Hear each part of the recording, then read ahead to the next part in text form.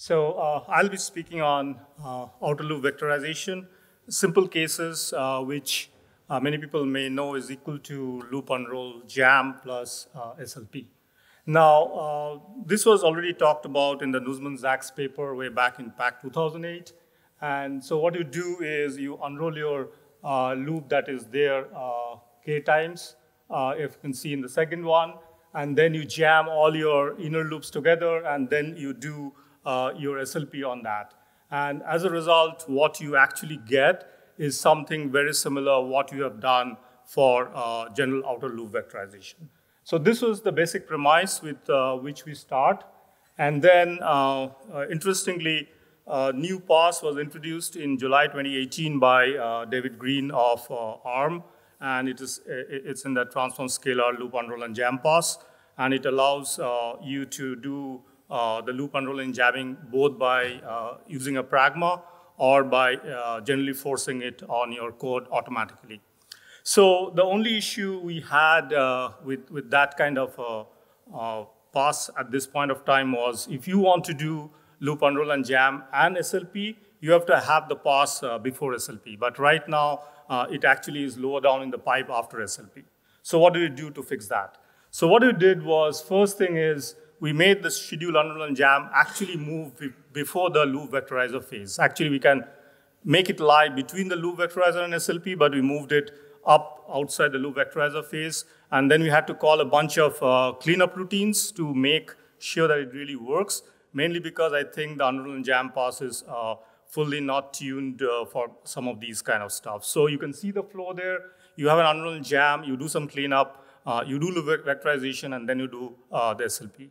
Now, uh, there are cases where uh, you may run, may need to run the SLP twice.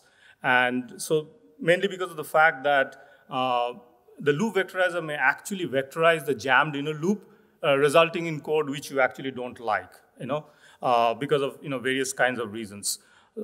Unlikely that it will do it due to costing reasons, but we have seen cases it may happen. So you may need to run an SLP first run the loop vectorizer, and then another round of SLP for that.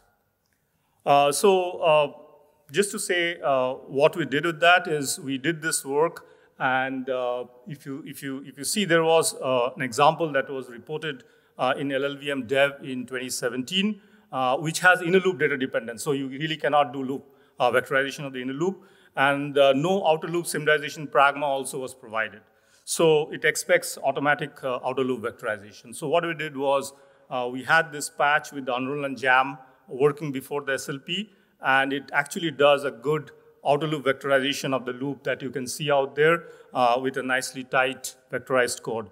Uh, in today's uh, LLVM, uh, I checked it as late as last week, it, there is some outer loop vectorization that happens, but it is not clean uh, it does some outer vectorization of some of the load stores and things like that, but the major mul subs and others are not vectorized at all. So what are the open problems with this kind of an approach? The main open problem is which loops do you really unroll and jam if no pragma is provided? So mainly inner loops with reductions, inner loops with accesses which are strided on the outer loop index, inner loops with loop, uh, low trip count, and loops with data dependence are obvious targets, but still you may still need to look at the costing and other stuff pretty carefully.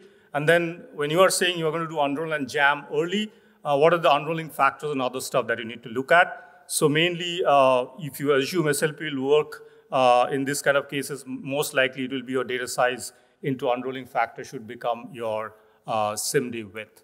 But still, there are open questions. This was more or less like, you know, kind of uh, cheat the Uh, outer loop vectorization and have a cheap hack for it. But that's what we did for this work, and thank you.